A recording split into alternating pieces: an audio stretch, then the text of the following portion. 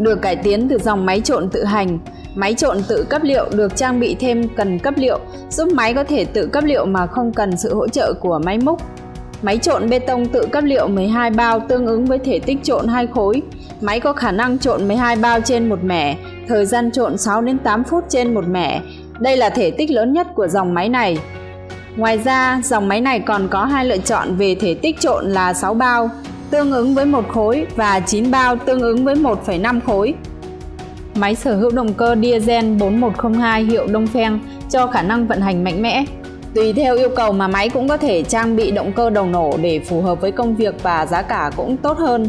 Máy được trang bị hai cầu di chuyển 3,5 tấn cùng với 6 bánh xe, hai bánh trước và 4 bánh sau, giúp máy sử dụng phù hợp với hầu hết các loại địa hình. Hệ thống cầu múc thủy lực có chiều dài tay cần 5 m, quay toa 200 độ, độ vươn cần ngang và ra sau lần lượt là 4,5m và 4,2m, thể tích gầu 0,18m khối. Các bạn có thể xem thông tin chi tiết ở phần mô tả.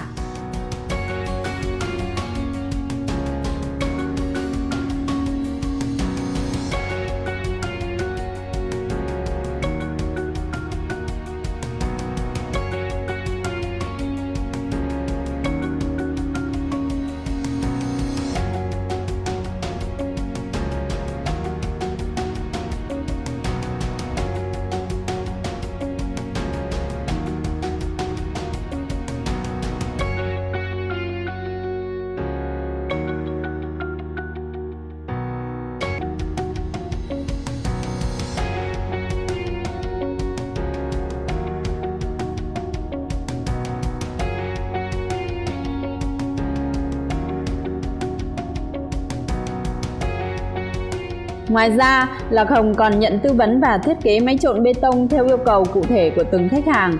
Lạc Hồng tự hào là đơn vị chuyên cung cấp máy xây dựng và máy nâng hạ chất lượng chính hãng, giá cả tốt nhất thị trường hiện nay. Mọi thông tin chi tiết, bạn vui lòng liên hệ hotline 0947 636 122 0968 591 772 hoặc bạn có thể tới trực tiếp ba chi nhánh của Lạc Hồng tại miền Bắc, miền Trung, miền Nam sau đây. Cảm ơn các bạn đã xem video. Xin chào và hẹn gặp lại ở những video tiếp theo.